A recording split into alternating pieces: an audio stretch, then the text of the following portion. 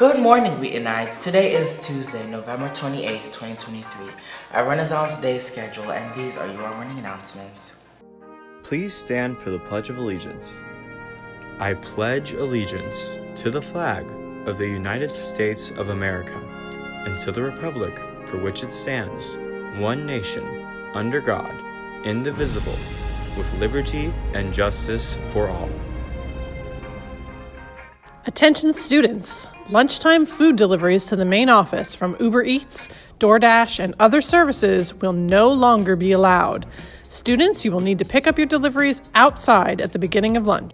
We are very proud of all of our Corazon Latino dancers who performed at MCPS Latin Dance Competition on Monday, November 21st at Strathmore Music Center.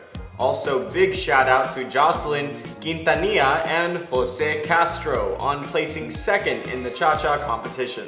Go Knights! Hello, Wheatonites. Are you interested in the art of design and creating amazing structures? Do you like exploring your creative side and build innovative projects? If so, you should join the Architecture Club. Architecture Club meets every Thursday at lunch in room 3108, where you can sketch your dreams and turn them into a reality. We hope to see you there.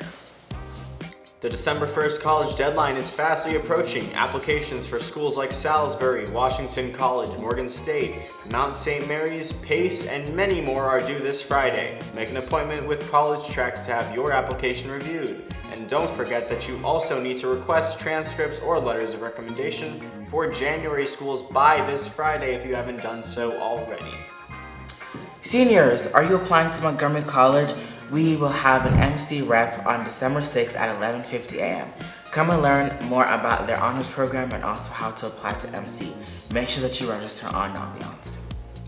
Wheaton Creative Artists, you still have lots of time to conjure some magic for our Wonderland theme for the literary magazine. Deadline is January 12th and you can earn up to 15 SSL hours. That's 5 per entry. So scan the QR code or get more information and a submission form. Seniors, make sure you save the date. Northwood High School will be hosting an on-site admissions opportunity on December 5th and 6th and we and seniors are invited to participate. Please make sure that you are checking your school email for more information and also on how to register. If you have any additional questions, please stop by the counseling office. College Track seniors, join us today at lunch or at 2.40 p.m. to apply to MC. Bring your social security number if you have one. If you don't have one, that's okay. You can still apply. The World Language Honor Society will meet Thursday, November 30th during lunch in room 2117. All members and applicants are requested to attend.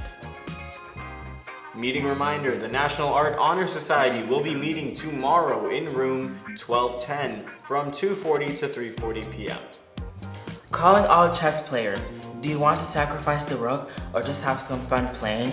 Chess Club is every Wednesday after school in room 3504. You can contact Mr. Hosner at lunch if you have any questions.